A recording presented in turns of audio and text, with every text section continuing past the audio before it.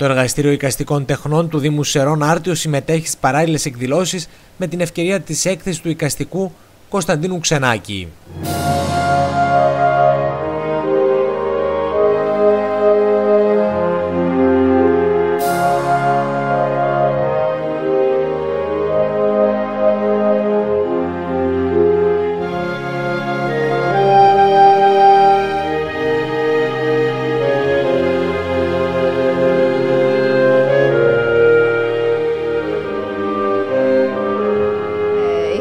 Πάρα πολύ χαρούμενοι για την τιμή που μας έχει κάνει ο ε, Διεθνούς Φήμης Καλλιτέχνης ε,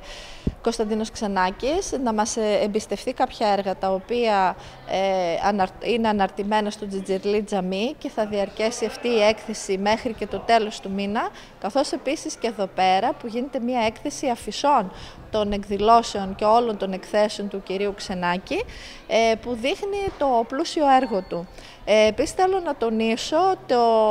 πολύ δημιουργικό ταλέντο που έχουν τα παιδιά μας εδώ, οι μικροί και οι μεγάλοι μαθητές των ΣΕΡΟΝ που έχουν κάνει όλες αυτές τις ε, καταπληκτικές δουλειές και έχουν αφοσιωθεί ε, να διαβάσουν,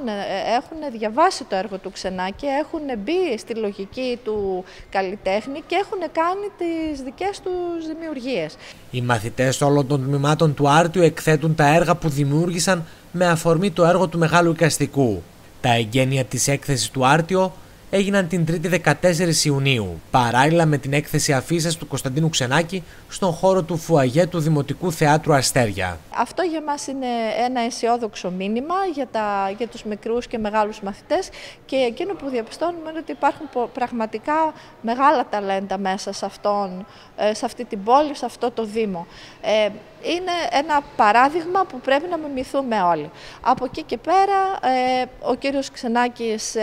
ευχόμαστε να ευωδώσει η προσπάθεια που κάνει ο Δήμος και η Σεραίων Πολιτεία και τελικά να έχουμε ένα μουσείο Ξενάκη στην πόλη μας. Στα εγγένεια της έκθεσης ήταν παρόν και ο Κωνσταντίνος Ξενάκης, ο οποίος έμεινε ικανοποιημένος από τα δημιουργήματα των μαθητών των τμήματων του Άρτιο είναι πολύ ικανοποιημένος και πραγματικά